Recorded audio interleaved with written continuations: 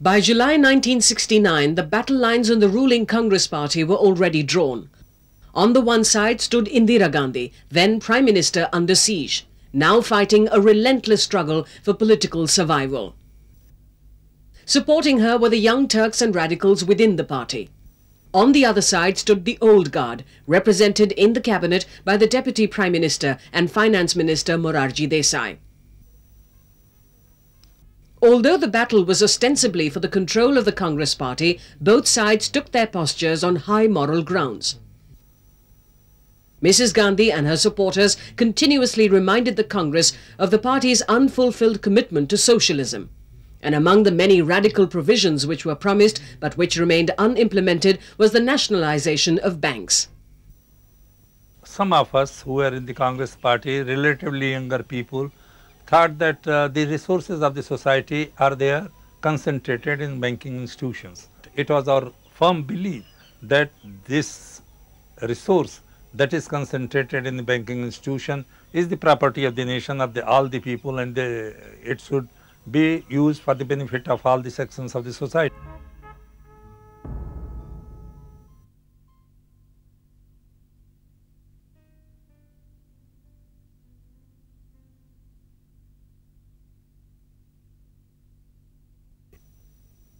The July 1969 session of the Congress Party, held in Bangalore, had seen the divide between the two factions in the Congress almost complete.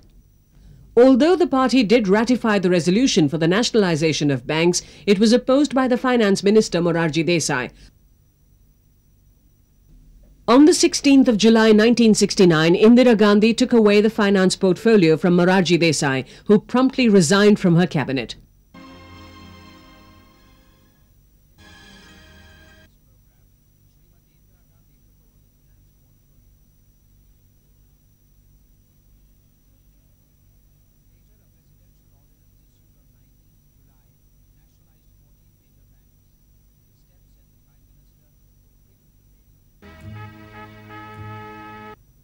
By November 1969, the Congress party had split.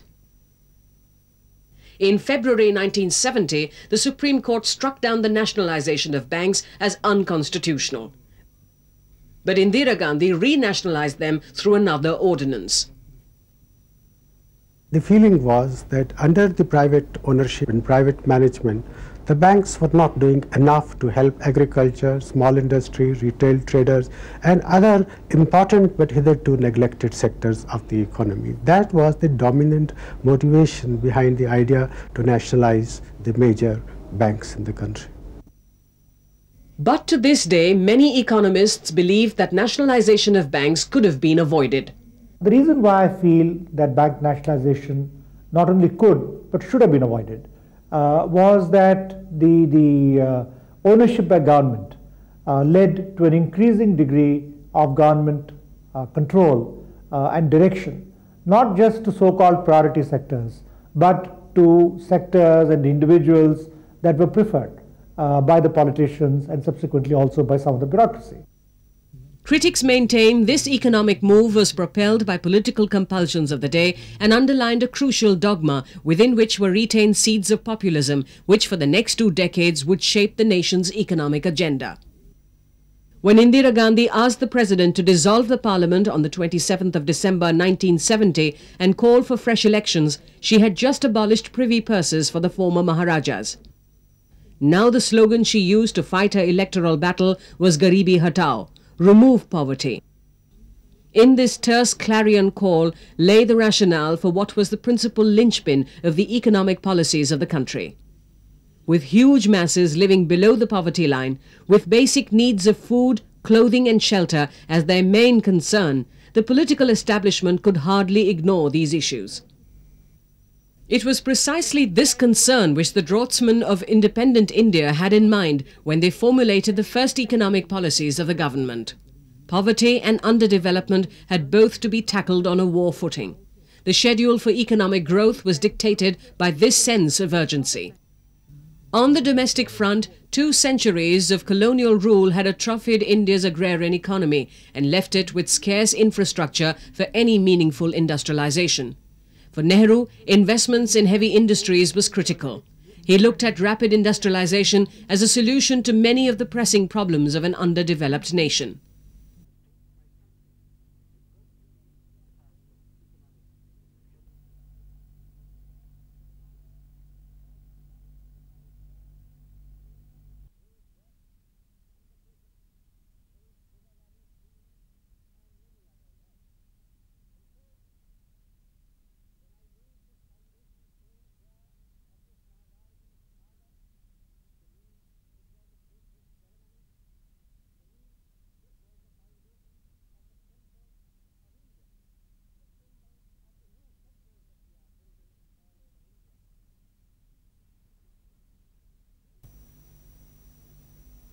Built on the banks of the country's holiest of holy rivers, the Ganga, the imposing factories of Bharat Heavy Electricals Limited, or BHEL, symbolize what Jawaharlal Nehru once called the temples of modern India.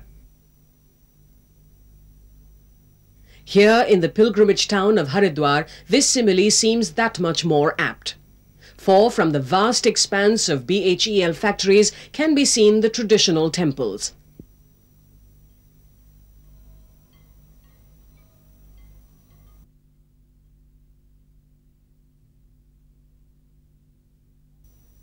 It was in the second five-year plan that this thrust towards heavy industries was given. The argument was simply that investments in public sector was imperative and that the emphasis should be on heavy industries if the country was to achieve economic independence.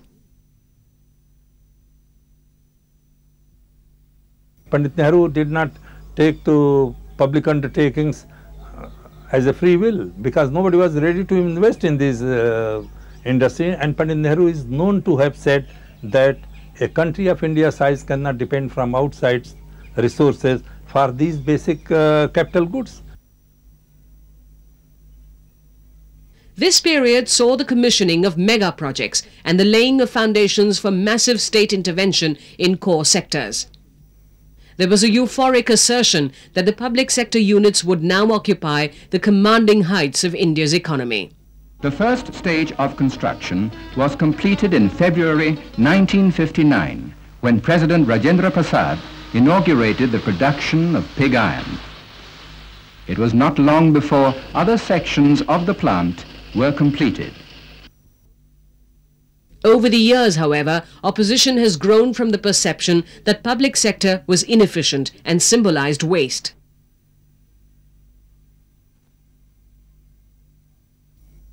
Government now gets around 2.4% as dividends and interest on the almost 200,000 crores the center has invested in the public sector. And the average borrowing rate of government last year was 9.1%. The marginal rate of borrowing today is well over 13% for government. So 2.4, 2.5% return is a ridiculous return. And clearly this was not a desirable thing. But there are many who acknowledge that the public sector units have played a vital role in the development of Indian industry during the last 50 years. Panditji's dream was that the public sector would be a pace setter in India's development because through the public sector his dream was to socialize profits. Socializing profit means you kill two birds with one stone. Profits are the biggest source of further investment. By socializing profits, Therefore, you increase the rate of investment and capital accumulation. But profits are also the source of income distribution. By socializing profits, you reduce the inequalities of income and wealth. That was the dream.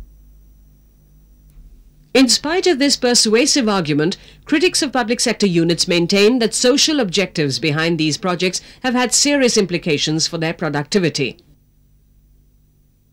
that these units nurtured a monopolistic attitude and stunted private enterprise. Any debate about India's economic agenda cannot overlook the legacy of the Gandhian philosophy. Gandhi's nightmare was a machine-dominated society which would suck India's villagers from her countryside. Gandhi wanted a balance between progress and a mindless consumer society. His was also a passionate commitment to self-reliant villages cottage industries and cooperative societies.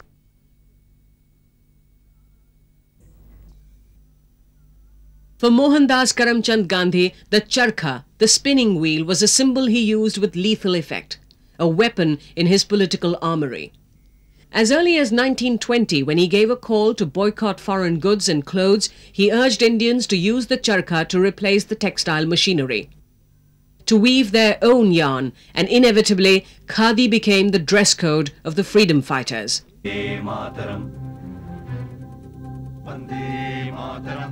Gandhi's vision can still be found in these khadi emporiums and in the cooperative societies.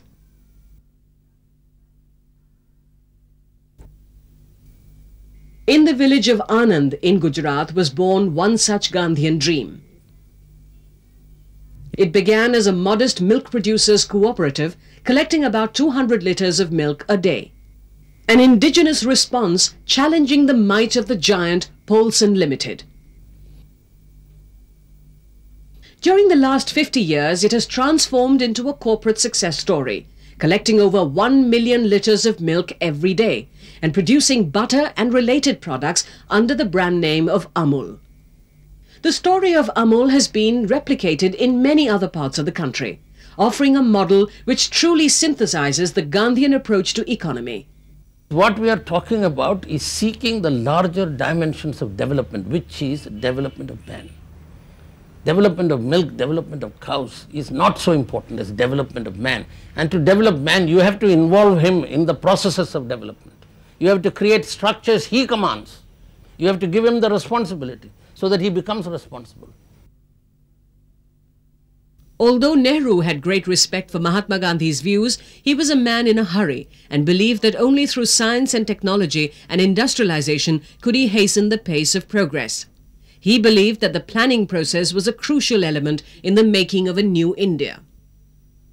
Published in December 1952, the first five-year plan of the Government of India stressed the role of the state as the prime mover of change. The focus of the plan was the rural sector, and specially production of food grains.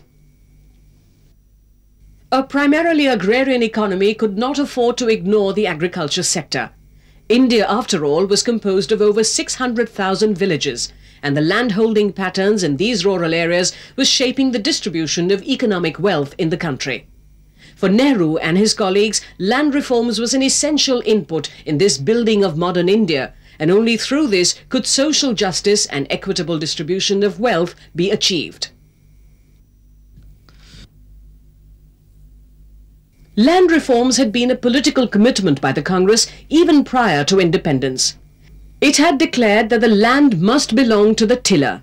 Rural debts should be written off for agricultural labourers and state credit institutions nationalised to replace the evil money lenders. The aim was to wipe out all traces of landlordism and semi-feudalism. But the reality was different. In most cases, it was difficult to implement because the rural rich dominated the establishment and they resisted change. Therefore, even if zamindari was officially abolished, radical agrarian reforms which were required never took place. By the time Indira Gandhi was sworn in as Prime Minister on the 25th of January 1966, the country was still dependent on imported food grains to feed its people. In 1966, drought and an impending famine-like situation was prevalent in parts of the country. India had barely recovered from the disastrous war in 1962 when the 1965 Indo-Pakistan War had taken place. By late 1966, food riots and spiraling inflation made the situation tense in some parts of the country. Mrs. Gandhi knew that the country had to achieve self-sufficiency in food and at the earliest if it was to feed its teeming millions. A decision was taken to encourage farmers to use high-yielding varieties of seeds. From about 1968 onwards, our progress was more towards yield per hectare or per area and that was caused about by the high yielding varieties of wheat, of rice, of uh, jowar, bajra, maize and uh, they were all grown with water, irrigation water and good soil fertility management. The high yielding varieties were capable of converting irrigation water and soil nutrients into grains. This is what we started calling green revolution.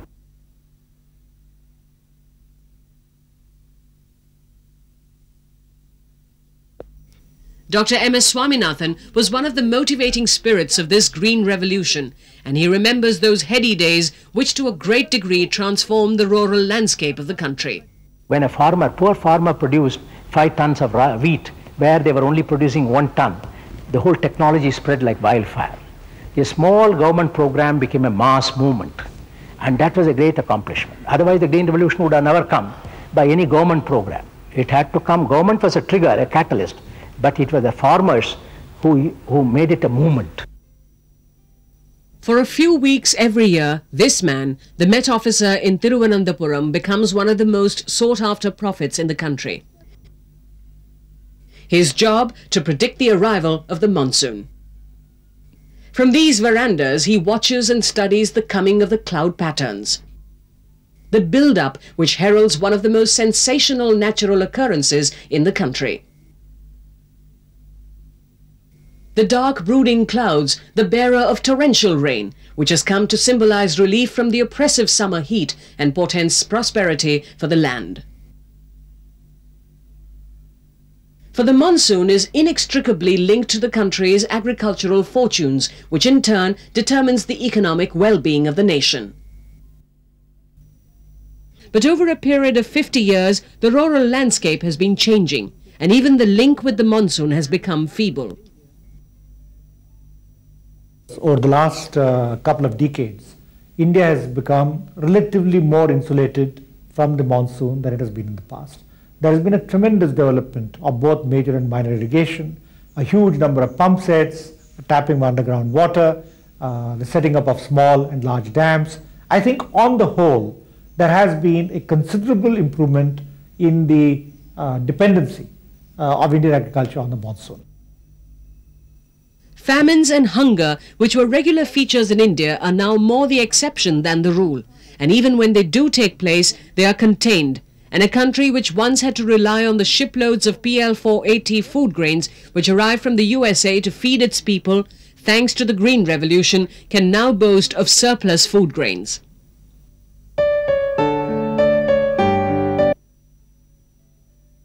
The Indian economic model, as envisaged by Nehru, was a mixed one, where private capital existed side by side the state industries.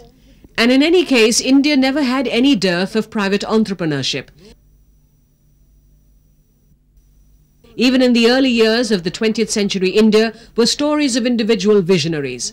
One such was a Parsi man whose forefathers had landed in the coast of Gujarat, escaping religious persecution. The genius of Jamshedji is that he alone in his time understood the full significance of the Industrial Revolution in the West and of its potential for his own country. Where others saw India's freedom primarily or exclusively in terms of political action, he saw clearly that India's freedom could not be achieved or sustained by political means alone. The township in Bihar, which bears his name, is testament to the foresight of this entrepreneur. Successive generations of this family bearing the name of Tata have become synonymous with industrial progress in the country.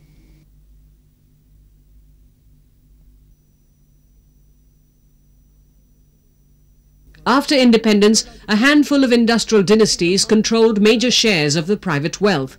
But private wealth was viewed with a degree of suspicion.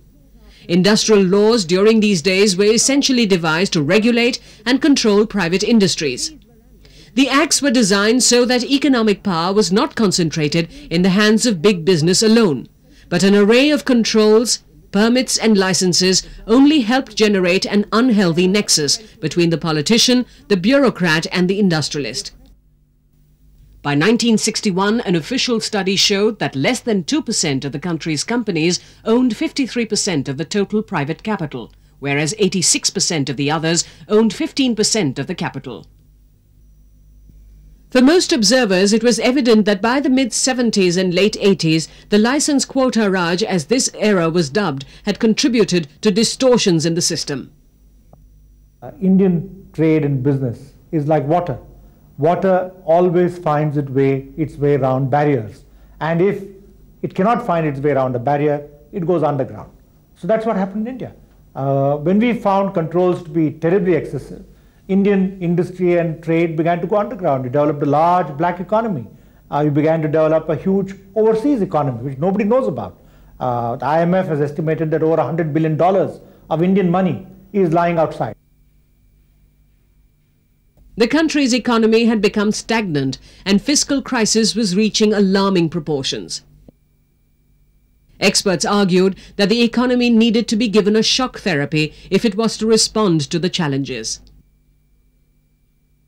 There was already a contention that Indian economy must shed its shackles, that it was time it should dovetail itself to the global system.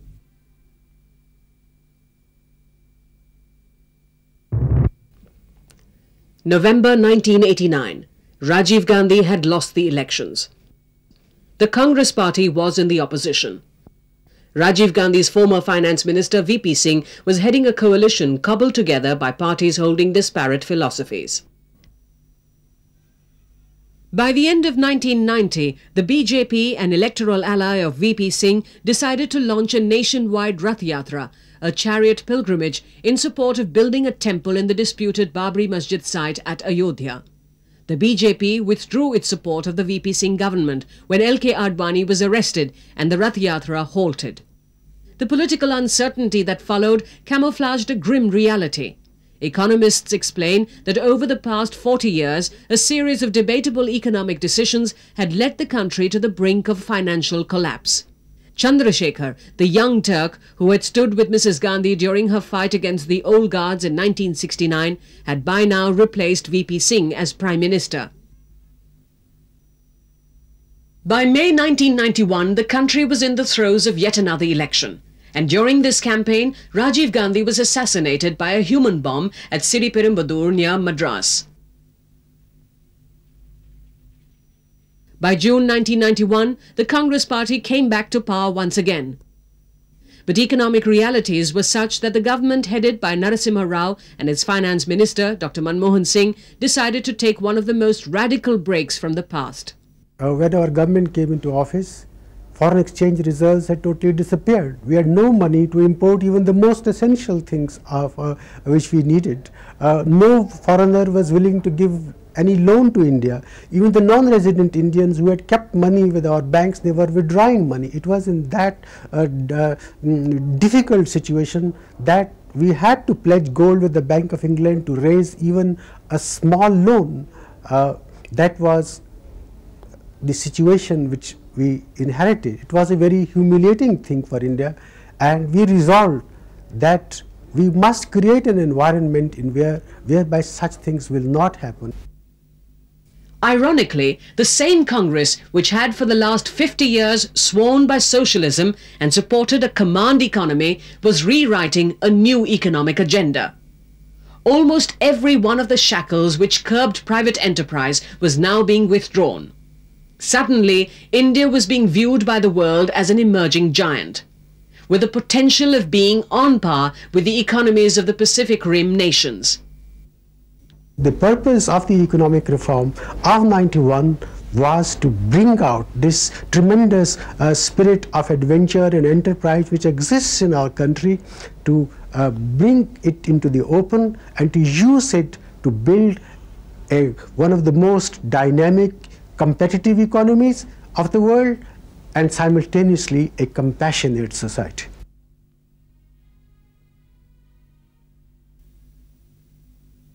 By 1995, these cars rolling out of a state-of-the-art factory near Noida in Uttar Pradesh symbolized one other facet of India's economic profile.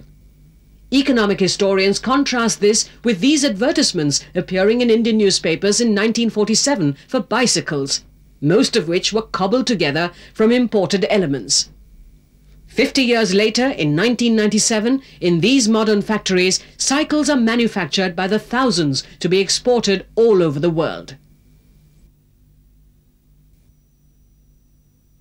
A village near Hyderabad, Pochampalli, is today famous worldwide for the weaves which go to make saris that carry the unique label of its geography and these modern textile mills in Ahmedabad produce denim material which makes Arvind Mills the third largest producer of denim cloth in the entire world. In some ways, the narrative of contemporary India's economic growth is fused with this interweaving of the traditional and the modern. With liberalization, a new phase in the country's economic agenda has begun. The unshackling of the economy does not mean that the basic problems facing the country have all disappeared or that they can be wished away.